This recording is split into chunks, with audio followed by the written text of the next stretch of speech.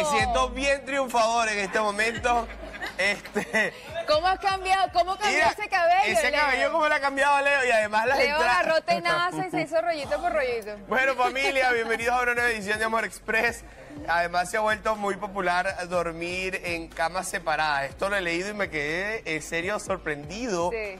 con eh, la cantidad de parejas que lo aplican. De hecho, famosos como David y Victoria Beckham, también Melanie Trump y Donald Trump, se comparten dormi no comparten dormitorio, perdón, para respetar el espacio del otro. Sí, A mí esto me parece una locura. Bueno, pero justamente lo estábamos conversando. Me parece que es una propuesta bastante particular, aunque es verdad que adaptarse a los hábitos y las manías de sueño del otro es complicado. Por eso hoy nos acompaña la psicóloga Meury José para hablar de este tema que justo hablábamos ahorita. Esto suena loco, pero muchas personas lo aplican. El divorcio del sueño. Sí. El divorcio del sueño. Sí, bueno, en principio agradecida por la invitación y por tocar el tema, porque hay temas que a veces no, no se manejan porque se cree que, bueno, son tabú, hablar sobre las parejas, se duerme unido, se duerme separado, todo va a depender. Fíjate, eh, siempre debemos contextualizar las cosas.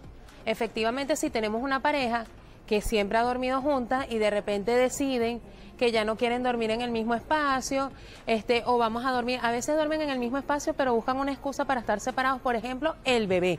Vamos a meter al niño, al bebé, al bebé en medio de la cama y el bebé tiene 10, 12, 15 años y el bebé duerme en el medio, ¿no? La muralla. El bebé tiene que dormir allí. El bebé tiene que dormir allí. Entonces, allí ya estamos hablando de que algo está pasando dentro de la pareja. Ya hay el distanciamiento es emocional y estamos utilizando una excusa y nada mejor para separarnos porque efectivamente la cama es un símbolo, ¿no? Es un símbolo de unión.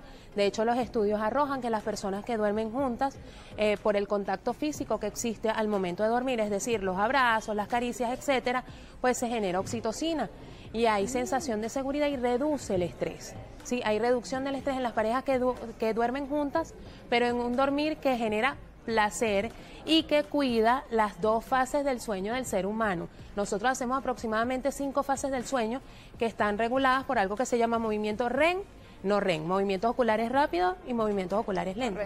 Y tenemos que hacer ese ciclo cinco veces durante la noche. Si las personas, ambos miembros de la pareja, lo- logran hacer eso durante toda la noche, pues tenemos calidad del sueño. Y son parejas que duermen y se genera todo esto que acabamos de ver. Reducción del sueño, mejora en la calidad de la pareja, comunicación asertiva. Pero si contextualizamos otras cosas, por ejemplo, cómo hacer cuando tenemos uno de los miembros de la pareja tiene un trastorno del sueño o un trastorno que altera la calidad del sueño del otro. Entonces allí donde sí es válido esto de vamos a dormir separados por un tema de la salud de la pareja, es decir, que ambos miembros de la pareja tengan calidad dentro de su relación afectiva, ¿sí? Es decir, ¿a qué me refiero con trastorno del sueño? Porque la gente dirá, ¿y qué- ¿a qué se trata eso? Por ejemplo, el síndrome de las piernas inquietas. Las personas que pasan toda la noche, ta, ta. ¡Soy! Aprobado por Chayán, papá. Eso está en mi list. Yo soy de esos. ¿En serio? Te lo juro. Bueno, si o hay la personas otra... que viven haciendo así, ¿sabes? ¡Soy! List. Bueno, ¿En serio? y también hay, este, por ejemplo, apneas del sueño, las personas que se levantan. Sí, No, no sé. He tenido episodios, pero ese sí no es constante. Ya te iba a decir, Ok. mándenle todo este capítulo a Sol, pues. No, ya, solo tiene magíster con respecto a este tema. Pero allí tenemos una particularidad. Si la pareja puede mantener su calidad del sueño, a pesar de estas características, no hay necesidad de la separación. Por Pero ejemplo. si la otra persona realmente empieza a tener dificultades, porque ¿qué pasa? Cuando no dormimos, tenemos pérdida de memoria, tenemos dificultades para el análisis y la Nos síntesis. volvemos tenemos- irritables. Nos volvemos irritables. Entonces, basado en eso, buscamos la calidad de ambos miembros de la pareja. Entonces, si uno de los dos tiene un trastorno del sueño, es normal que se llegue a un acuerdo. Pero eso sí, esto se debe hacer en espacios terapéuticos. Y eso ¿no? tiene que ser conversado porque muchas veces se pueden ir a otro lado de la casa como una excusa para alejarse del compañero de una manera efectiva. ¿Y cómo podemos identificar que se trata de algo que está fallando en un vínculo emocional y que no solamente sea como una excusa por un tema de sueño?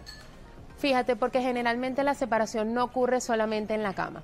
Lo que pasa es que empieza a notarse allí porque generalmente las parejas tienen muchas cosas que hacer durante el día y se encuentran en la noche.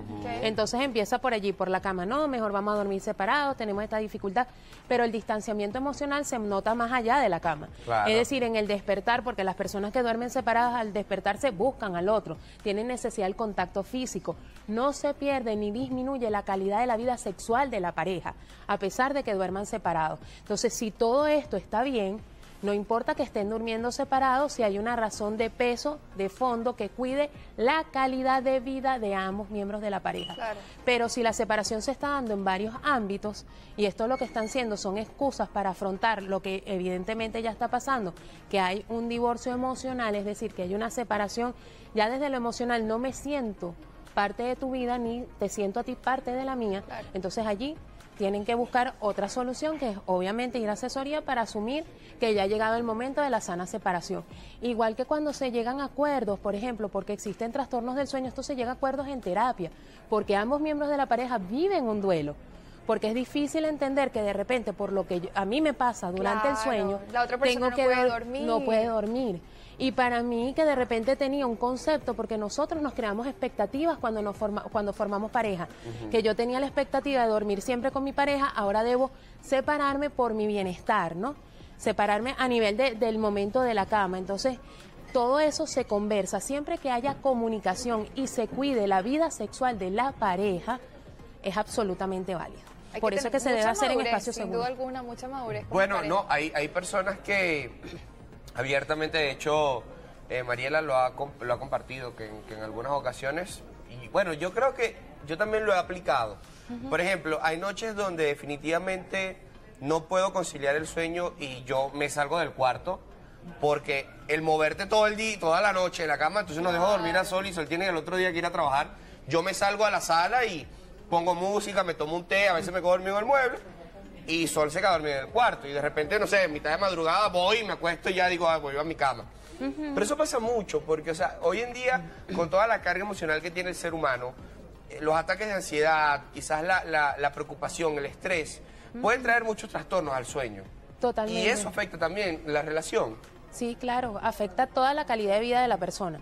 Por eso es que cuidar el sueño es algo tan importante. Por eso es que cuando estamos con el psicólogo, el psicólogo hace preguntas que uno dice que, bueno, ¿este qué le pasa? Porque nosotros preguntamos, ¿y cómo estás durmiendo? ¿Cuántas horas duermes? Ajá. ¿Cómo duermes? ¿Con y, quién y a ti qué te importa cómo duermo? ¿Cómo soluciono el problema con mi esposa? Claro, es verdad, es verdad, es verdad. Pero estamos Pero trabajando resulta que viene de una raíz. Totalmente, totalmente. Y hoy día las alteraciones del sueño son cada vez más frecuentes. O sea, hay dificultades para la conciliación y para el mantenimiento del sueño. Porque hay personas que se quedan dormidas. Pero el problema es que se quedan dormidas por espacio de una hora. O no descansas. Exactamente. Tú sientes que te acuestas más, te despiertas más cansado de cómo te acostaste.